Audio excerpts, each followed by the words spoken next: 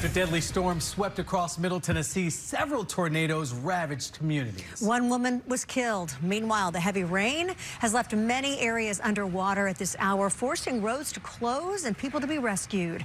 Thank you for joining us here at 6 o'clock. I'm Tracy Cornett. And I am Marius Payton. The National Weather Service confirms an EF3 tornado hit Columbia yesterday. Winds reached 140 miles per hour. Again, one woman was killed when officials said her home was blown off its foundation.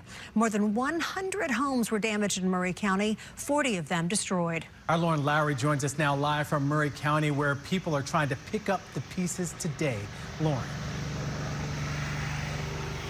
If there was ever a question what 140 mile per hour winds could do, just look behind me. There's a 36 foot RV that's laying on its side tonight. And the road where I'm standing wasn't even accessible last night because the whole thing was littered with trees. It's just from the effort of people living around here that's made it accessible now tonight. Many people around this area, dozens of families have been spending the day tarping their roofs, boarding up windows, just trying the best they can to to cover up some of the damage that was caused by the storms last night. And as you look at the video that we're showing you right now on Drone 4, it does show some of the destruction. And Again, dozens of families have been affected. Our Brendan Tierney was here on the ground in this community minutes after those storms rolled through. Brendan, you're back again today. There's just so much that these families are going to have to deal with. Yeah, Lauren, people that we've talked with say they've never seen a tornado like this here in Maury County. They're thankful more people were not hurt or killed by this storm as they're now starting that cleanup process.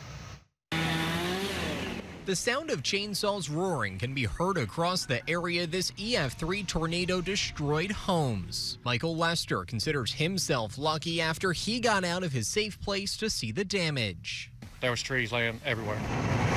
An army of volunteers has been helping in his neighborhood, using heavy equipment to clear the massive branches the wind snapped like toothpicks. Everybody here has been working their butt off today.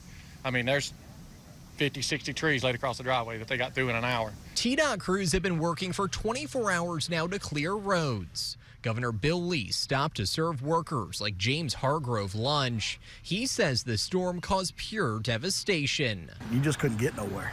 It was just impassable. James was part of the first crew on scene and worked through the night trying to help first responders get to families. You see a house that's not there anymore. That was there. It's like, wow, how, how did this happen?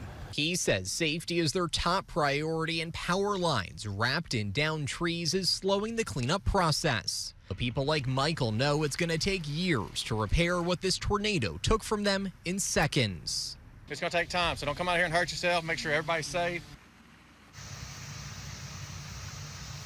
And everyone we've been talking with keeps saying that this is something they're, they're not used to seeing in person. They're used to seeing it either on TV or in movies, Lauren. And it's something that it's going to be a very long repair process as they're still tonight trying to wrap their head around all of this damage. Oh, yeah. I mean, it's huge, right? It's everywhere you look in this county. Thank you, Brendan. And as